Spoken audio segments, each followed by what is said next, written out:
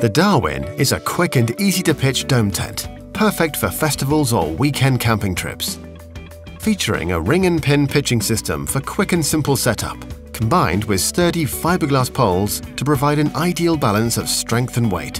While the tent's PU-coated polyester fly sheet has a hydrostatic head of 3000 millimeters, guaranteeing to keep even the worst rain at bay.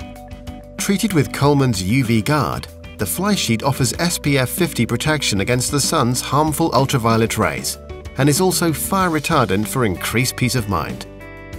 A spacious inner bedroom made from breathable polyester and ultra-fine no-see-um mesh ensures that even the smallest bugs are kept at bay, while adjustable ventilation panels allow you to manage the interior airflow, helping to reduce the risk of condensation and maintain a comfortable temperature inside the tent.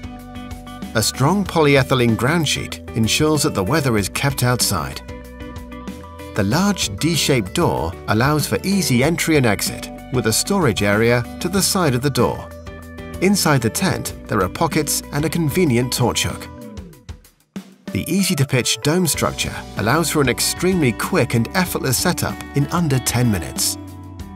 Assemble the two fiberglass poles. Square out the inner tent then place the two poles across it and tie to secure in the middle.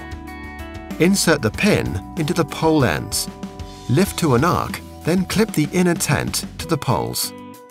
Peg out the four corners, pegging at 45 degrees for maximum resistance and support. Place the fly sheet over the domed frame and tie to secure at the top and down the poles. Peg out the fly sheet. Attach and peg out the adjustable guy lines following the line of the pole for maximum support.